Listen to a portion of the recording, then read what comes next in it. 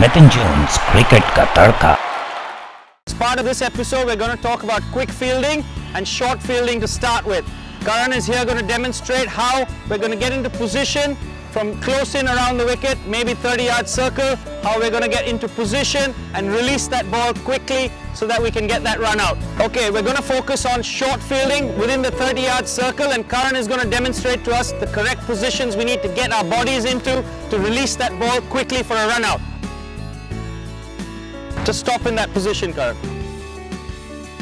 Stop. So what we want to be here is we want to get that foot out to that ball, reaching out with the hands in front of us, and then we move into our throw position and release.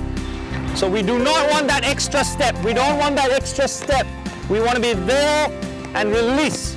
Another important part, part, about fielding close to the wicket is anticipation and getting into the right position to get your body moving towards that ball. And what, what Karan's going to show us now is how he's going to get nice and low and anticipate the ball coming at him.